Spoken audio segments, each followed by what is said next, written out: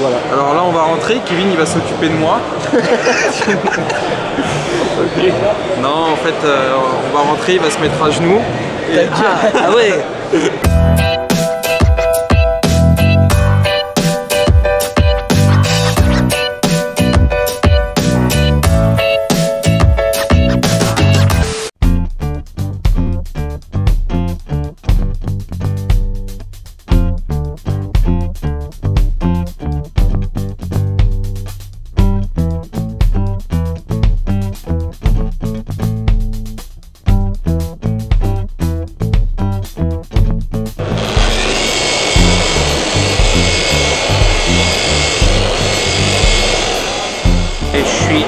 actuellement à l'intérieur du Detailing Show.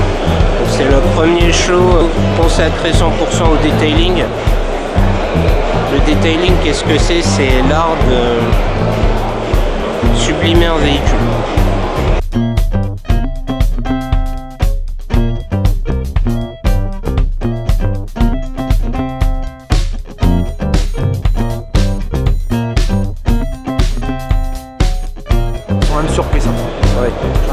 Pas reconnu leur voiture.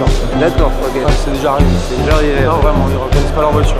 Waouh. Ils voient la voiture, bon. euh, mais ils comprennent pas. esthétique des, des voitures. Et ensuite, bah, on profite, on fait le tour du monde, euh, on va à d'autres événements. Et là pour le visuel. D'accord. On est pionnier du detailing en France euh, et on est dans le métier depuis 25 ans déjà. Waouh. Donc on suppose que pour un premier salon du detailing auquel on participe, euh, c'est hyper important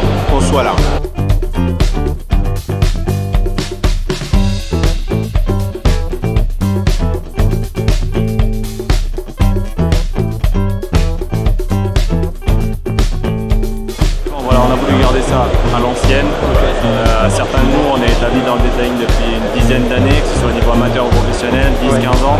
Donc euh, voilà, on a voulu garder quand même euh, les bases à l'ancienne. Très tendance, le detailing, ouais, traitement céramique, des trucs comme ça. Les gens prennent de plus en plus soin de leur voiture. Il y a un engouement autour de l'univers automobile qui est euh, d'avoir une jolie voiture, d'en prendre soin, etc. Et c'est un truc qui revient. Génère une communauté de passionnés et professionnels du domaine.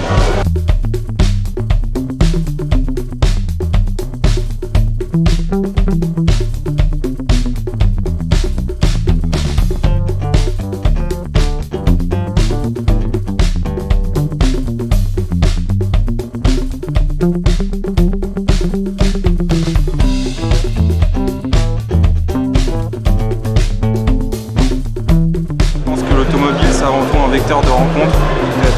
Peu importe euh, d'où on vient, euh, ce qu'on a comme voiture ou, ce qu'on euh, représente, on, a la même passion et c'est ce qui est pour moi le plus fédérateur.